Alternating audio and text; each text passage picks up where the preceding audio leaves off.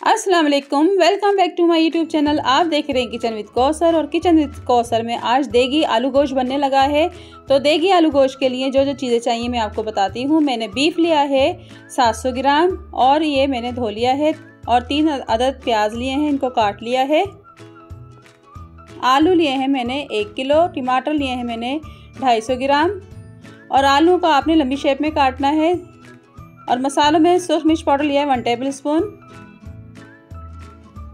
To tablespoon धनिया powder मिर्ची आप अपने टेस्ट के हिसाब से रखें और नमक लिया है वन टेबल स्पून नमक भी आप अपने टेस्ट के हिसाब से रखें।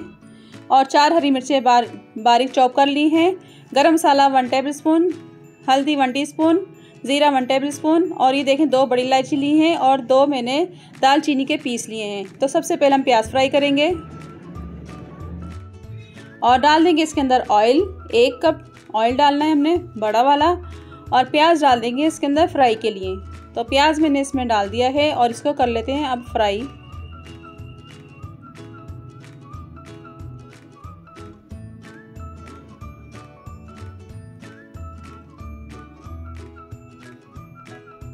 और प्याज देखें हमारा फ्राई हो चुका है। बस थोड़ा सा और कर लेते हैं।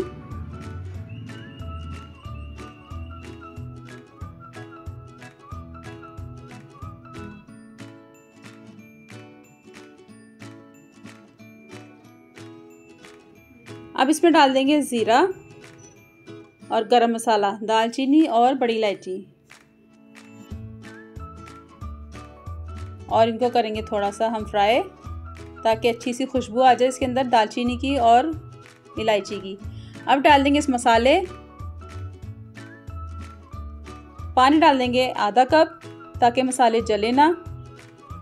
आप चाहें तो एक प्याली में मसाले और पानी मिक्स करके रख सकते हैं तो इस तरह जलते भी नहीं है। हरी मिर्ची डाल देंगे इसके अंदर।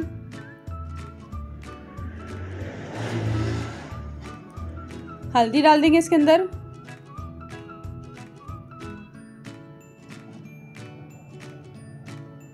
अब डाल देंगे इसके अंदर हम गोश्त। गोश्त मैंने लिया है बगैर हड्डी का। साफ़ गोश्त लिया है मैंने। और इसको मिक्स करेंगे थोड़ा सा। इसको ज़्यादा हमने फ्राई नहीं करना। साथ में डाल देंगे इसके टमाटर।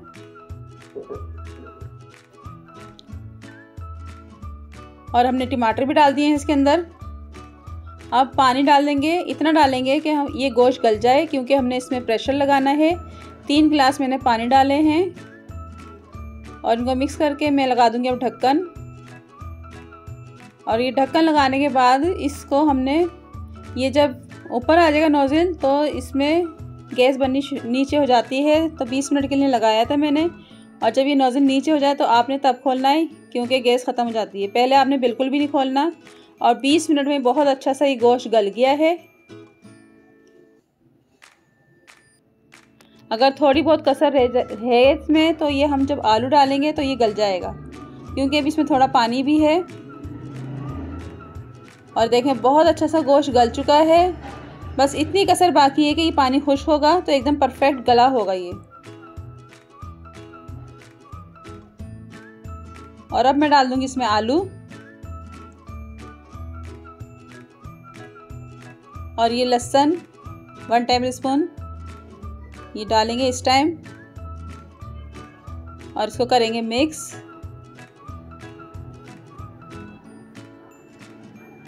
और इसको मैं कवर कर दूँगी।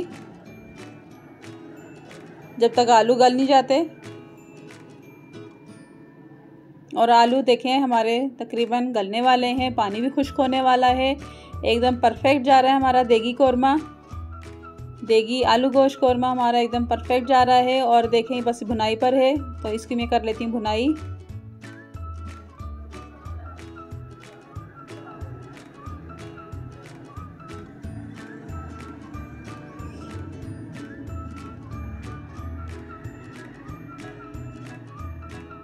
बस एक से दो मिनट इसकी हमने बुनाई करनी है।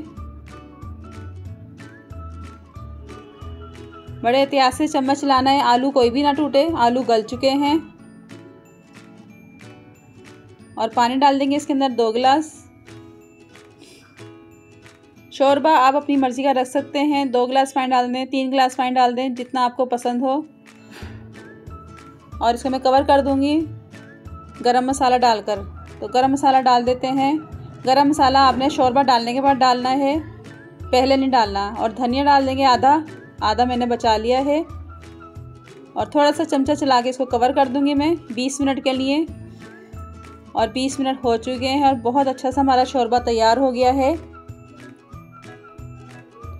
और बाकी जो हरा धनिया आधा था, हरी मिर्चें थी, वो भी डाल देते हैं इसके अंदर। क्योंकि बाद में डालने से भी बहुत अच्छी खुशबू आती है। और इसको मैं डिश आउट कर लेती हूँ। और ये देखें, बहुत ही ज़बरदस्त सा देगी आलू गोश हमारा रेडी हो गया है। आपने इसी तरह मेरी रेसिपी फॉलो करनी है। मेरी रेसिपी अच्छी लगी तो लाइक शेयर ज़रूर करें। सब्सक्राइब नहीं किया तो सब्सक्राइब ज़रूर कर दें। साथ बेल आइकन के बटन को क्लिक कर दें और मुझे फीडबैक में ज़रूर बताइएगा कि आपका आलू गोश्त कैसा बना है। दुआ में याद रखिएगा। मिलते ही नई रेसिपी के साथ। अल्लाह हाफिज़।